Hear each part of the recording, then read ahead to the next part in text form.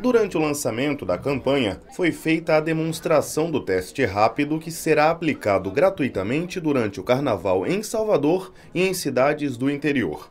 A campanha também conta com um filme publicitário e distribuição de panfletos. Nós temos 11 postos de atendimento nos três circuitos, onde vamos distribuir todo o material da campanha.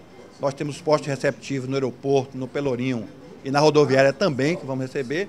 E vamos estar aí com 230 guias e monitores no carnaval, dando todas as orientações aos turistas, que também poderão né, dar essas orientações e também ser uma correta transmissão dessa campanha. Desde os anos 80, foram notificados 757 mil casos de AIDS no Brasil. Atualmente, a doença está estabilizada no país, com taxa de detecção um pouco acima de 20 casos a cada 100 mil habitantes.